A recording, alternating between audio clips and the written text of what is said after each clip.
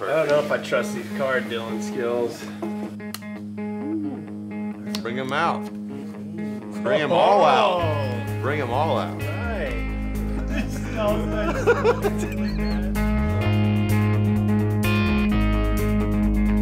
Mom and daddy had traveled around, preaching and teaching the gospel.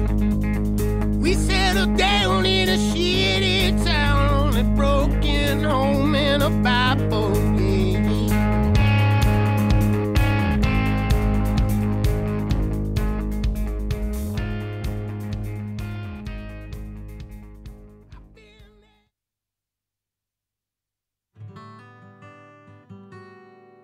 How do we know each other? guys? We're first cousins. Uh, yeah. How do we know each other? We're, we're all first cousins, but we grew up like brothers. Um, really. It's how we grew up, running around in the wild and acting crazy. Yeah. The truth of it is, we really came together over something that, you know, was kind of a tragedy, really. Yeah. 2005, my brother died in a car accident.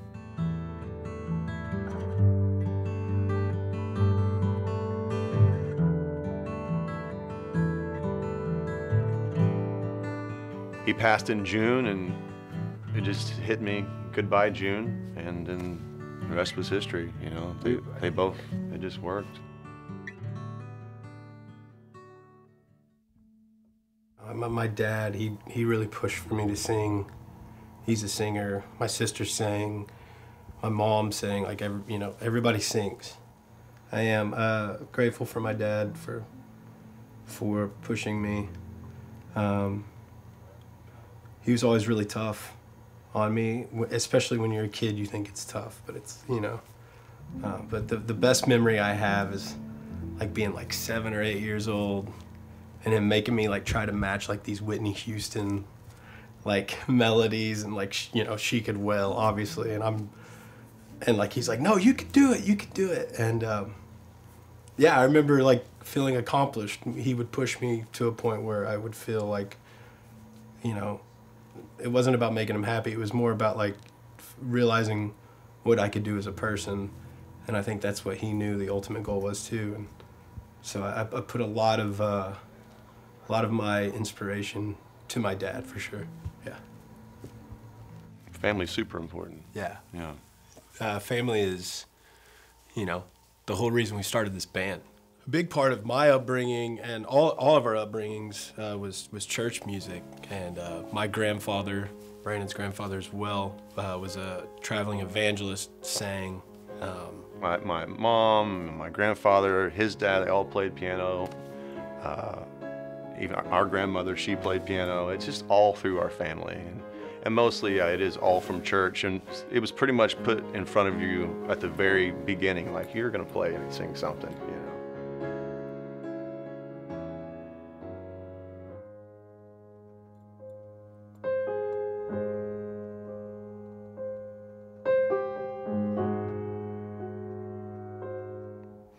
My grandfather, he was just one of the best men you'd ever meet. Um, he passed away a few years ago. Um, but he was definitely one of those guys that, like, you could tell that he cared as soon as you met him. And he definitely passed down the like the love of music to our really our entire family. But for them, it was more than just music, though. It was, uh, they were saving souls, you know? So it, um, it puts a lot of weight in, into that, you know? Not only the love of music, but the love of people, you know? And I think that's one of the things that we've definitely have held on to is we want our music not just to be music, it, it needs to mean something. And I really feel like that we learned a lot of that through my grandfather, for sure. I've got that old time religion in my soul. I've got it. I've got it. You can have it. You can have have it. If you want it, if you want it, you can get it. You can get it. You can get that old time religion in your soul. Oh yes, I've got. I've Whatever got it takes to do whatever it takes. Finish the sentence. ah, we haven't been drinking. See where the night goes. Catchphrase. It's good. It's gold. Yeah, we lived, I mean, we lived out in the country. We grew up in a modular home or like a trailer or whatever you want to call it, out in the country. We had a creek. We had a creek that we spent a lot of time in, me and my brother. Had like crawdads, like make little forts and with our GI Joes and stuff. That's my, some of my favorite memories. I love this kind of stuff. I love being on the river.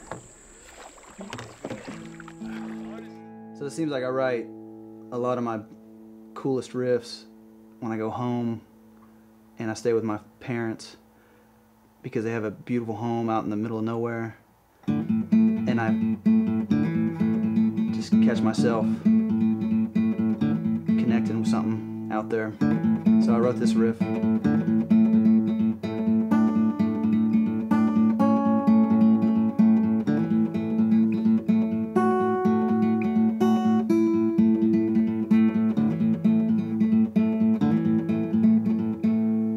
So I was connecting with something, I don't know, I guess nature.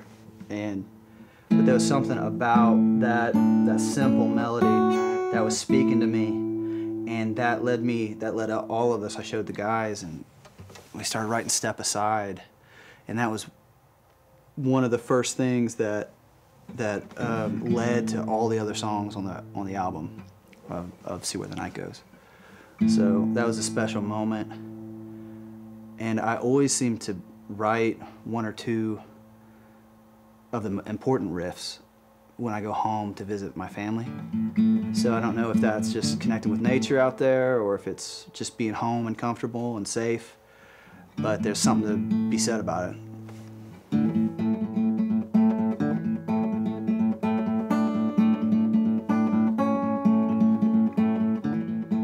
So the, the way that we transitioned into our first major deal was this studio right here. That was kind of the bridge piece. Um, we met Paul Moak in 2013, and we came in this studio. And that first day, we wrote a song called Daisy, which is on Magic Valley. But that kind of set the tone and the vibe of getting to that point because Paul was a huge part of that process. I I think that's where we learned to, to, to do a record. Mm-hmm. Right. And Paul taught us how to create a record, which is different than just learn how to write a song.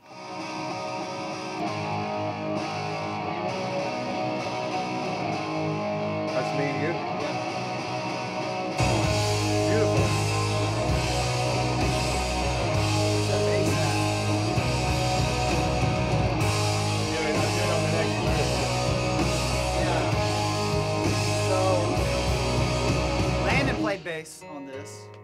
This was a one taker. This was uh, on the demo. That we kept.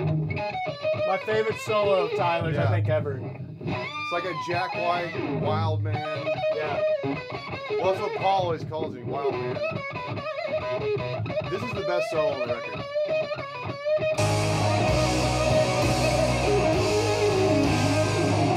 Right here. That my favorite part. Yeah.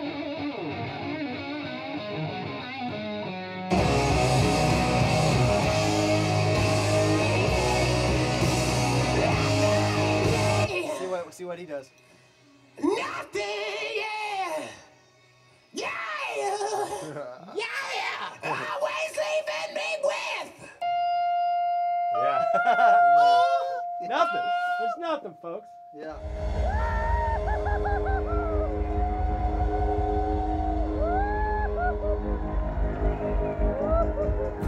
When COVID hit, it was going to be a big year where everything kind of come together with our headlining shows and uh, also supporting, you know, big acts. And when COVID hit, it just wiped everything clean, and everybody was scared to death, and no one knew what the world was going to look like when we emerged from this. I remember when we got the news that everything had canceled, we had nothing uh, for the whole year. everybody was scared and shut down. And so we decided to set up a rehearsal space and uh, just a space in my garage. And dude, it was like flashing back to being 15 again. Yeah, it was awesome. And we we We're come, getting loud. Though, yeah. we come back and uh, a lot of like I don't know, probably three, three, four days a week. We were getting in there, record, uh, recording basic demos and writing and trying to put together a record. And we had been le- leveled back down to really our roots and foundation of us three getting together with instruments and writing songs in a garage.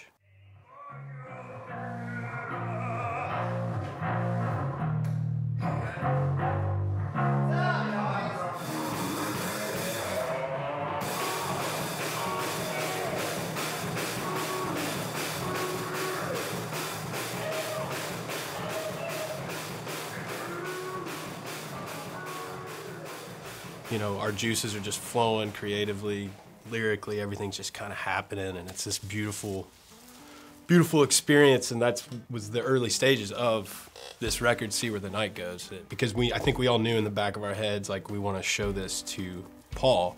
This is for like documentary footage. I think the definition of love is if I bought a new motorcycle yesterday and I'm choosing to be in here with you guys instead of riding it. He's not riding it. He's writing it.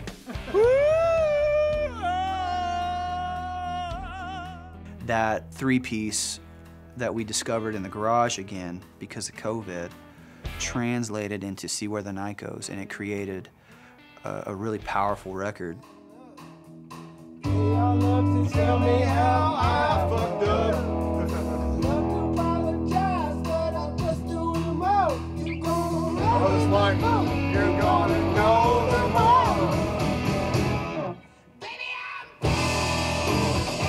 Yeah.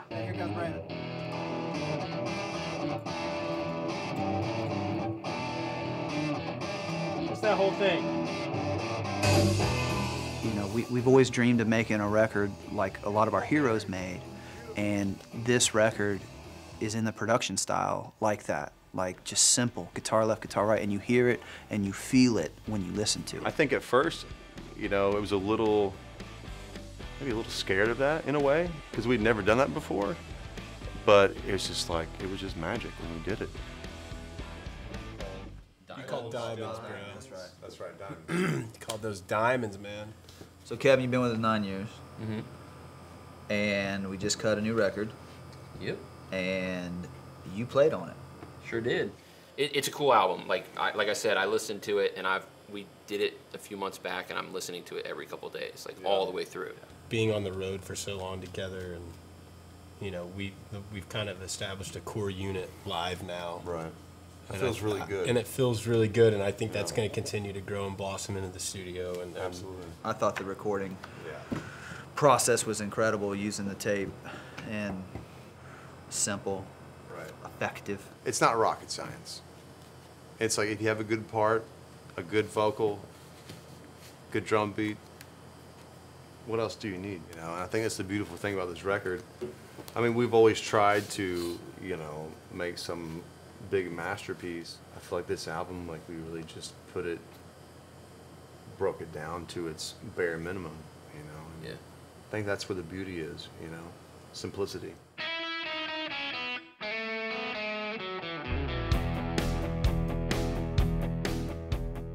Just knowing where you know where we come from and like being kids growing up together you have all those memories and stuff so it's like breaking up is not really an option There's a respect of that we know where we all come from and the hardships that we've all faced, how long the road's been, and where we've been at, and we've done it all together. every door that we've come across in your career, it's like we know we're not walking through it alone. Like at the end of the day, I got I got two amigos here that are gonna face the dark or the light with me either way. So it, it makes it, uh, I think it makes it easier. No matter what, it makes everything easier to be family and be grounded like that. future's just back on the road really you know to be on the road that's that's where we thrive that's where we that's where we live that's where we come alive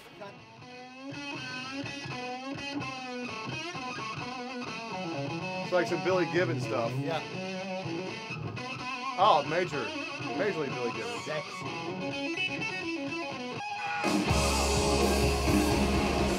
Key change. Baby, keep me up, I told you.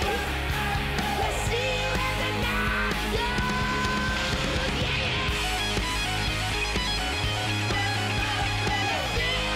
yeah. We'll do this till we die.